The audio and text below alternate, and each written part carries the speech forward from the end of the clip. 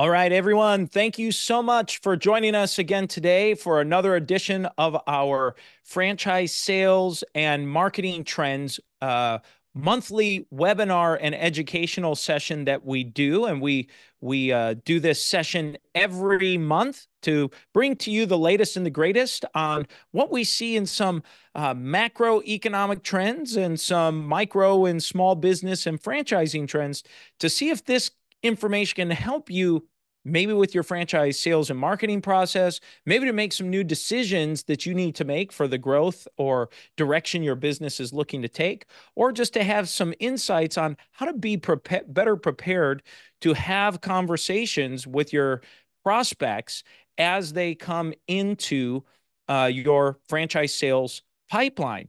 So if um, my name is Tom DuFore, I'm the founder and CEO of Big Sky Franchise Team, and I will be sharing my screen to do a quick action uh, uh, uh, uh, review of several different data sources. Now, uh, just so that you know, if you want to watch this again or catch this again, we will publish this up on our YouTube channel as well as our podcast called Franchise Your Business. If you have not subscribed to that podcast, please do that. That's where we repurpose and republish all of these live webinar sessions we do. And secondly, go to our second podcast called Multiply Your Success. Multiply Your Success. We're 220 episodes into that uh, weekly podcast. It's been going for, uh, for almost four and a half years now. So, really, really looking forward to our session today. So, with that, I will go ahead and uh, uh share my screen. And if you have any questions or anything that come up, comes up along the way. I will leave some time at the end, but please feel free to just go ahead and uh, type something into one of the chat box or question uh, box or raise your hand and I will unmute you. If I don't see it, I will try to uh, glance up as I'm uh, managing the show live myself right now. So let's go ahead and jump right into this. Share screen. There we go. Okay. So, the first uh, reports I like to share and talk through is from the Institute for Supply Management. They have these three reports here that they publish each month. Uh, one is the manufacturing PMI, the second is the services PMI, and the Third is hospital PMI. So we'll take a look at these reports. So this is the Manufacturing Purchasing Managers Index report. And uh, it looks like, uh, let's see, it says the US uh, uh, manufacturing sector contracted for the fifth consecutive month in August as the manufacturing PMI registered 47.2%. Uh, uh, up 0.4 percentage point compared to July's reading of 46.8%. Uh, after breaking a 16 a 16 month streak of contraction by expanding in March, the manufacturing sector has contracted the last five months, but at a slower rate in August. So you can see on, I'll zoom in a little bit on this report here. You can see uh, how this has been 2022 was this decline 2023 uh, it was relatively flat with a little bump kind of moving up and we've started to see a little edge up in 2024 but still in that negative territory so when people uh, to me this manufacturing uh, purchasing manager index report is a leading indicator to say well what's going on in the, the economy? What are we going to be feeling? Well we're feeling today likely where we were a year or 18 months ago. And so what we're seeing today is likely what we'll be seeing or feeling a year or 18 months or so from now um, in in my assessment on this. And uh, so what what can you make of it? Well to me this just indicates because we're below this manufacturing break even line we are above the overall economy break even line but we're in this territory that i would just describe as soft. It's just this it's it, it, when you're looking at your own business or com- companies you might be working with you say well just doesn't feel as robust. Well this this indi- this to me, this report is an indicator of saying, well, your your sentiment or your your intuition is probably right on that. Okay, next up, we're going to take a look at the Services Purchasing Manager Index, and it it reads in August the Services PMI registered 51.5 percent, a 0.1 percentage increase compared to the July reading of 51.4 percent. A reading above 50% indicates services sector economy is generally expanding, and below 50% indicates it is generally contracting. And a services PMI above 49% over time generally indicates an expansion in the overall economy. So at 51.5%, excuse me, it's about where it was last month. To me, when I read this again, we're just over that break even line. So when I look at uh, services, which is the largest section, largest percentage of the U.S. economy uh, compared to uh, the manufacturing, uh, we have just below uh, this break even line. We have just above this break even line. Again, it's kind of hovering flat. So when you see, uh, especially in this political climate we're in, uh, with politicians running for reelection or first time elections and so on, whatever they're doing, they they they tend to over exaggerate uh, whatever may be positive and down and play downplay things that may not be as warm and fuzzy or as uh, positive for them. And so to me, this just is a continuation of this just kind of things aren't feeling strong. And you may feel that in your own business or see that in your own segment of business that you're in. Okay. Uh, the third report, this is the newest report by the Purchasing Managers Index, uh, and this is the hospital PMI, and it's at 58.6%. And I'll read it, start at the second paragraph here. It says the hospital PMI registered 58.6% in August, a 5.3 percentage point increase from the July reading of 53.3%, indicating a 12th consecutive month of growth after a contraction in August of 2023. Um, and so when we look at this report, we can see that it's uh, up. And uh, what's interesting, you can see the last two and a half years or so on this chart. If if you're watching live or watching the video of this, uh, if you are uh, just audio only, you'll see these big zigs and zags up and down, very drastic as compared to the other two charts that that have some bumps in the road, but they're they're much uh, uh, much closer together.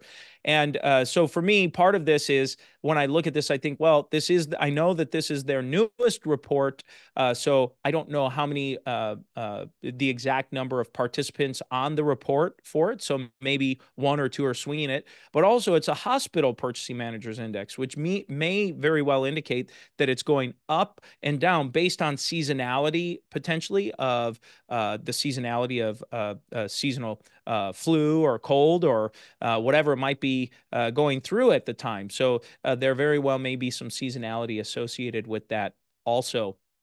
Um, but it's showing up here, up significantly from last month. All things said, that's a pretty good indicator for us.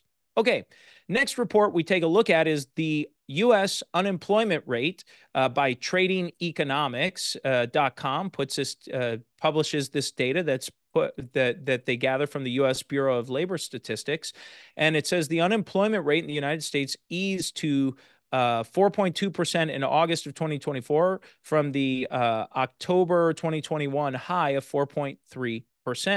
Uh, and so you can see this uh, percent change here in terms of the the chart and report and what we're looking at. Uh, July was at 4.3%. It's 4.2% for the unemployment rate. And I think the big thing that for us to know is the uh, uh, number of new hires that have been reported, which uh, uh, that that have been reported. Um, let's see if I can find that really quickly.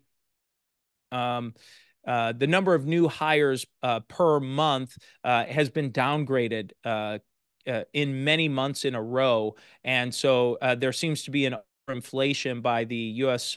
Bureau of Labor Statistics is publishing the unemployment rate and publishing the number of new hires. So I think that's just something worth noting that when those reports come out, I don't know if we can necessarily trust those numbers given the trend of consistently downgrading what those actual numbers are. So uh, this this may or may not change based on that, but uh, unemployment has been on this uh, steady uh, rise, a general trend of increasing uh, since the really the February of this year. Okay. Uh, the inflation rate, so we can see here the inflation, the annual, it's this is tradingeconomics.com uh, uh, for their U.S. inflation rate, and it says the annual inflation rate for the U.S. slowed for a fifth consecutive month to 2.5 percent to in August of 2024, the lowest since February 2021. Uh, so we'll scan down and look at these uh, charts here. So you can see a big drop in July. It was 2.9%, August 2.5%, back in June of this year 3%. In March of this year was the, the peak for this year at 3.5%, and September of last year was 3.7%. Uh, we can look at that five year. Uh, if we go back five years, you can can see uh, where it was pre COVID, then through COVID, and where we are today. Um, we're still at um, uh, you know, we're still at some numbers that are starting to uh, be closer. Actually, January of 2020 was 2.5 percent uh, based on this chart here, and August of 24 is 2.5 percent uh, that that we're looking at. So, uh, just something to to take note of. I think that's a positive sign to see that inflation continue to go down. Um, the one thing to remember on inflation, which is really the impact of what we're feeling when the uh, go- when governments uh, print money and it, it increases the money supply, uh, prices just naturally go up. It's simple supply and demand. There's more greater demand with the same or the, with, at best the same amount of supply. Uh, so as de- that demand increases, well, I mean, there's just not as much to go around, and so we get this inflation that increases. You know, just to break it down, relatively simple there, and so we see um, things slowly starting to come down, and that in, in, my opinion, is large part why we see uh, grocery prices up and we see prices just about everywhere are up. You feel that pinch in your pocketbook a, a lot more today and and that you're not seeing that ease. So that that when when we look at these charts from macro level to me it helps shed some light on what are the what's the what's the pain point we're feeling here? What what are we uh what what's the cause of that? Well we start to see it's like oh well it makes sense. It doesn't change it from hurting but at least it it helps make sense.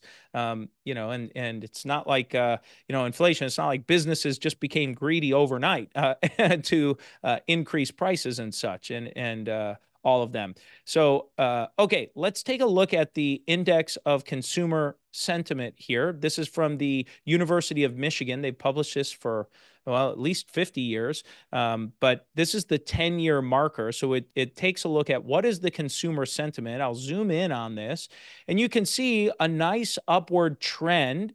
Uh, it zigs and zags that where it bottomed out around mid 2022. So around about two years ago, we saw this bottom uh, that it hit, and it's just been slowly bumping up. Uh, we saw it, it's ticked down the last couple of months where it's around the 67 ish percent or so, uh, 68 percent, uh, just my best estimate looking at the, the uh, graph here. Um, but we see this trend line going up, which in general means that the consumer is gaining a little more confidence in buying stuff. Uh, and so consumer confidence is important for all of us to know. And so hopefully, if you you're running a business, you've seen that two years ago is probably a lot harder to get a sale than it is today. Uh, just in general, uh, because your consumer sentiment, the general overall consumer sentiment is improving, uh, albeit still not where it was pre uh, COVID uh, numbers pre 2020 here, where we can see it was goodness close to, you know, in between 95 and 100, 100 uh, uh, index value off this chart here. Um, so, okay. Uh, next up is from the uh, business formation statistics. Uh, this was released August 14th, so uh, we still don't have the newest one for September. I thought it was going to be out. I was hoping it would be out by today. Um, so it may come out next week here that we get that. But this is still the data from last month to take a look at. And it still shows, uh, I still like, it's worth noting and taking a look at that you can see the total number of new business startups in the US in uh, July of this year and you can see it's still over 400,000 new business startups.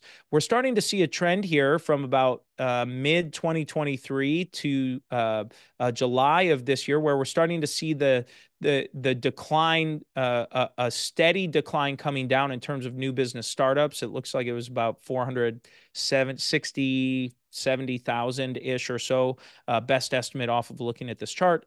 And when, when I look at that, what does it mean? Well, to me, it says uh, entrepreneurship startup is on the minds of people uh, it, it uh, on Americans. Uh, so uh, if someone inquires about your franchise, or maybe you're thinking of starting a business, if you dialed into this, but if if someone has uh, uh, inquired about buying your franchise, I think it's important to note that uh, franchise the the that franchisees very likely is very serious about starting a business. I think you need to assume that. you can see it even pre you know covid you know these 2019 or, or, early 2020 numbers but before covid stuff you can see it was right around 300,000 a year for or 300,000 a month you know for a couple of years there and then all of a sudden boom over 400,000 i mean that's more than a a 30, you know, 33% increase. You probably, if you do the math, we're going to be close to about 40% or so increase. That's substantial, in my opinion. Uh, and the sustaining of it for several years now, we continue to see entrepreneurship, startup is on the minds of others. So when that lead comes in, that inquiry comes in, you need to take it seriously as a marketer or a franchise seller as you're going through that. Okay, Next, let's take a look at the franchiseinsights.com. Franchiseinsights.com. This is one of my favorite uh, reports uh, that they publish. It's the Small Business Startup Sentiment Index. So we'll uh, take a look through it. It it says this is for this was released September second, twenty twenty four, and this says startup sentiment is saying now is a good time to start a business here. It says almost sixty three percent of aspiring business owners surveyed to either agree or strongly agree that now is a good time to start a business with optimism about conditions ahead. So that's a positive sign that we're seeing here. So you can see this chart. Uh, it, it's a, a, nice little spike. It looks like it's the highest in in about six months that we're seeing this rating come through here. Um, so I think that's uh, a good to see that startup sentiment is high now. So what does that mean? Well, if you're uh, selling franchises, that means that when people again reiterating that thought, when people are coming in, it's likely that they're very serious about starting a business. So you need to assume that your your you need to help that franchise candidate understand why your franchise offering is going to help them accomplish their goal they're looking for and starting a new business and getting that going. Okay, let's take a look, a scroll down. Um, uh, I always like to, uh, they, they, uh, the, one of the survey questions is, asks, when does this person look to start their new business? When are they looking to do it? And 84% expect to, to that, that they're going to get their startup going in the next 12 months. And in the next month or the next two to three months, it's this green and yellow on the far right bar here. You add those two together, that's 48% of the respondents said, I'm looking to start now or in the next two to three months. So it's almost half of the people surveyed said they're looking to get this started uh, uh, almost immediately. So I think that's a, a, a, thing for you to take a look at. Uh, one other noteworthy um, uh, uh, question or survey is they ask which of these factors will have the biggest impact in the next six months on your decision to start a business. Now, this number has been steady and consistent. Every month we continue to do this, and funding or access to credit is the number one uh, uh, factor impacting someone starting a business. So having some form of way to help support your franchisees, whether that's in in-house financing, referrals to third-party lenders, or helping them figure out a way to maybe find maybe business partners, or maybe they have some family or friends that would like to get involved with them. But having a, a clear pathway to communicate or share some resources or help a candidate um, will help calm their what on average is going to be the biggest concern for the average buyer coming in economic climate is has really increased to 40% here so some of what we're talking about just kind of feeling these uh, different uh, indicators where it just feels uh, the best way i can describe it is just soft it just it feels soft and i think that's probably because it is. Not quite sure uh, what's happening with the economy. Some indicators are a little positive, some are negative, you know, and it's kind of this mixed bag of things that make it hard to assess what's actually going on. So, uh, for for to tackle this uh, question in, in what, whatever you're selling, but especially specifically in franchise sales, uh, having an, a solution or some kind of a maybe even it's not a solution, but at least a response to how your franchise system is addressing these economic climate conditions uh, to be prepared to help a franchisee through it. And by the way, for your other franchisees in your network, this is going to be helpful too to have a solution. Uh, political changes is 24%. Um, uh, typically, an election year, as we get closer to, uh, uh, or I should say, at least presidential election, we tend to see political changes uh, go up a, a little bit. Um, but you can see still it's it's uh, it's the third highest, but still much less than the other two conditions here that are driving that that buyers are are uh, budding entrepreneurs are concerned about. Okay. Um, let's see here. Uh, oh, percentage of people looking to buy a franchise right now 47.4% are Gen Xers. Uh, 24.7% are baby boomers, 23.7% are uh, millennials. Uh, and then we've got Gen Z and silent generation, you know, around that 1% ish or so um, uh, coming in there. So your big three, uh, about half of your buyers are going to be Gen X, about a quarter millennials, and about a quarter um, uh, um, uh, baby boomers that are still uh, looking to do something, that are looking to start a business. So uh, I assume uh, uh, when when I take a look at this, you know, that's just what a, a good percentage to gauge and work from. Okay, uh, this is from franchiseinsights.com. This was published September 10th. This was published yesterday. And it says franchisee franchises preferred uh, over startups from scratch or legacy businesses for sale. And the chart, if you're just listening in, it said, uh, What options are you considering for owning a business? And 42.3% of the respondents said they're looking to buy an existing business. 43.3% said they're looking to start a non franchise business from scratch. So essentially, just a traditional startup, uh, independent. And 59.6% of the respondents said they want to buy a franchise.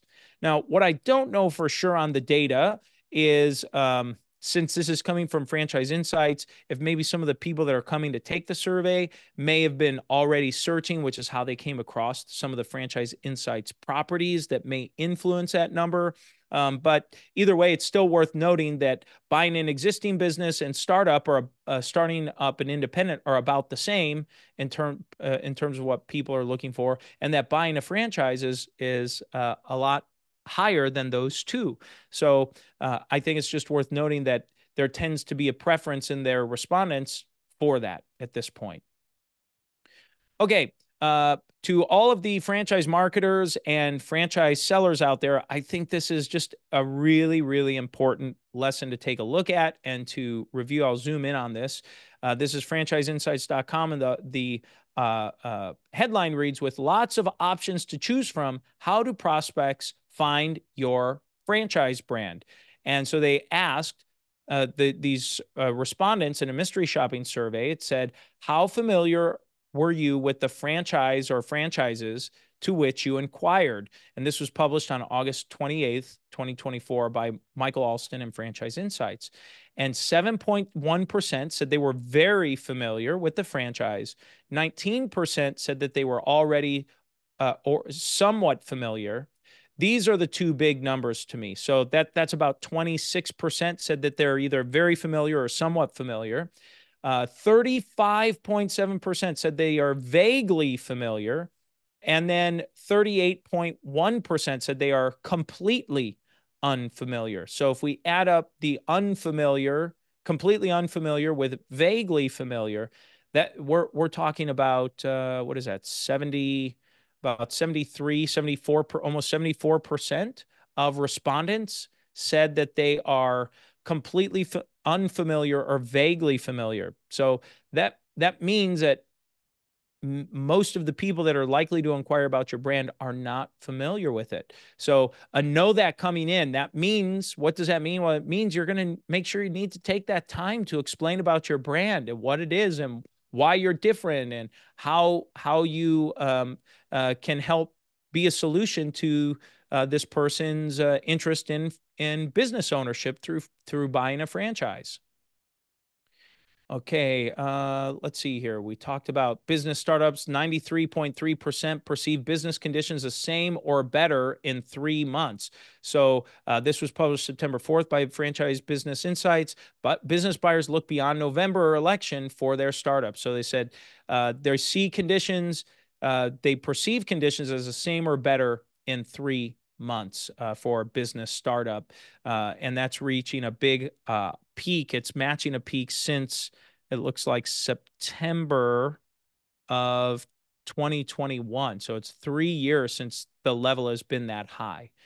Um, okay, next we like to take a look at the top 10 categories. So this is the percentage of inquiries by franchise category through Franchise Insights, which is owned by Franchise Ventures, which owns a bunch of franchise lead generation uh, uh, properties and these franchise portals and lead aggregators. Uh, now, this is on the business opportunity page. And the reason I'm showing this is because I'm pretty sure that the business opportunity and the franchise page for each of them switched. So I'll show you this is the franchise page. And the reason I, I think they switched is uh, one, business opportunities just generic is listed in the franchise page. Well, franchising and business opportunities shouldn't be paired together. Those are generally kept separate.